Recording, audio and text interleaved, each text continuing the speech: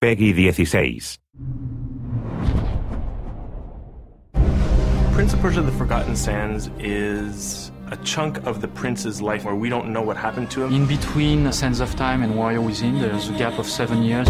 So we're using this space to reintroduce the prince as he was uh, from Sands of Time. We're going back to roots. We're going back into the Sands of Time feel. So a mix of charm with adventure. This little twist, this little element of magic that is so characteristic of uh, Arabian Nights. The Prince of Persia universe has this very distinct flavor.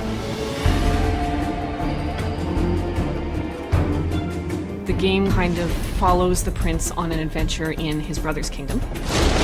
He arrives to find it under attack.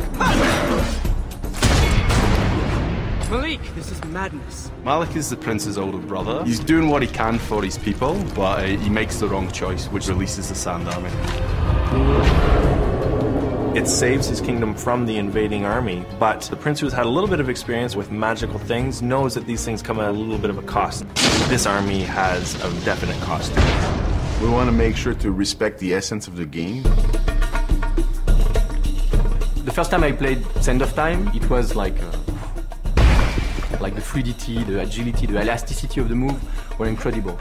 I think it's really the prince's acrobatic prowess that make him uh, stand out. The wall run for me will never get tired of. It's the epic move that people know from the original trilogy. We're bringing back all that. Run on the wall, uh, column jump, acrobatic pole jumps.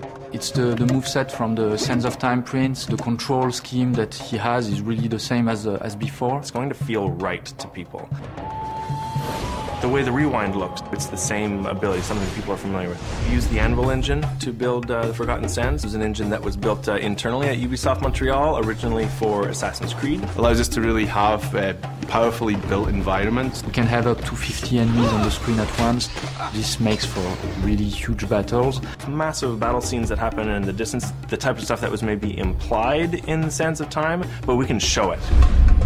The architecture itself is very detailed, very fine. We're really going into that Arabian Nights, Persian feel. There's a lot of emphasis on the beauty of the surroundings in the game. The rooms are big. We want the players to want to explore every nook and cranny of the environment. Every aspect of the game is very handcrafted. There's details everywhere. We wanted to invent on top of that and bring a new flavor. There is the power over the elements uh, fire, earth, air, water. I love the water freeze power. That's the thing that I, I can't stop watching people playing the game when they're doing that. The, the jumps back and forth, the, the fact that you have to use timing to kind of stop and start. Players are going to come in feeling charged up, eager to see where like this road is going to take them. We have the core base and the acrobatics. On top of that, we've added the power over nature, the manipulation of the environments, the 50 enemy battles, the epic boss battles. There's so much in this to bring you back in. It's the game you should play if you like the original trilogy.